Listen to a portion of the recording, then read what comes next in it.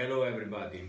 We all go through difficult moments in life, but I think that uh, this moment is very very special in Italy and in the world. I'm Italian and uh, as Italian I would like to remind you all uh, three things. The first one is that we have great traditions in business.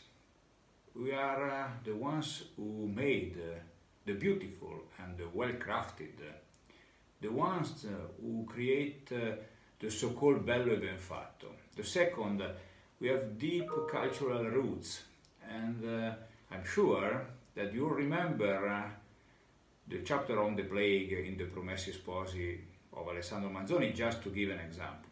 And third, uh, we have uh, great schools and universities, uh, where uh, we do not only train students, but uh, we educate them. And this is uh, one of the reasons why, in my opinion, and in spite of rankings, thousands of Italians are so successful around the world.